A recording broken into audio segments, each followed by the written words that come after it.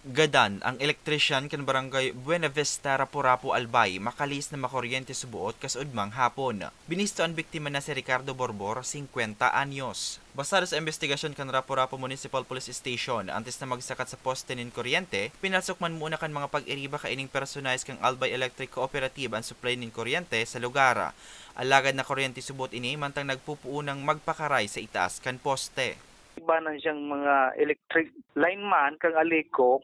So nag-clear sila nung area siguro yung feather duman, enough yung muna nila yung kuryente. Tapos suddenly yun na nangyari, na kuryente si biktima.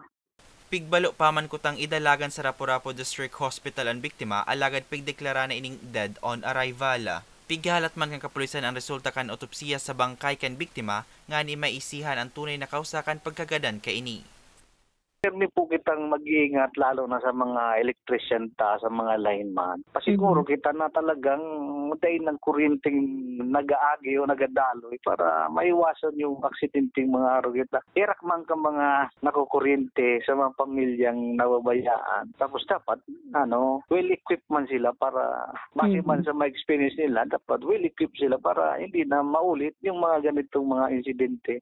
Mientras tanto, pigbalo man kan news team na kuwaon ang lado kan Aleko, alagad nagsayuma mo nang magtaonin pahayag ang manihamento huli tapig iimbestigaran pa subuot kan sa indang safety officer ang insidente. Alagad bukas man da sinda sa pagtaong asistensya sa pamilyang nabayaan kan biktima. Para sa mga baretang tatak Bicol, Hercules Barbacena.